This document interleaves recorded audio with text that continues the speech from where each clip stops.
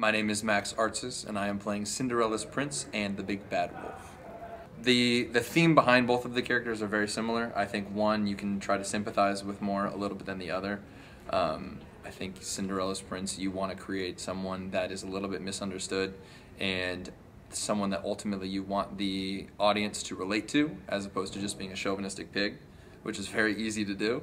Uh, whereas the Big Bad Wolf, I think I can have a little bit more fun with being bad. I always like to find the relatable aspect to what is in my character um, and how I can make my audience connect with me and like the character that I'm bringing to the table and bring a little bit of myself into it. Um, and he's a ladies' man, and I'd like to think I am as well.